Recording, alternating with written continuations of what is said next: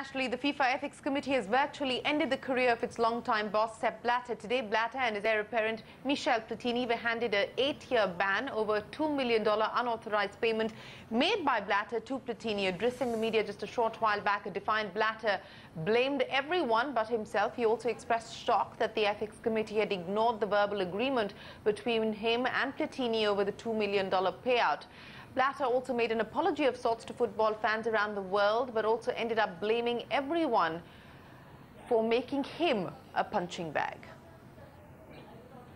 I am sorry that I am still somewhere a punching ball, but I'm sorry that I am, as president of FIFA, this punching ball. I'm sorry for the 400 plus FIFA team members, they are working in FIFA.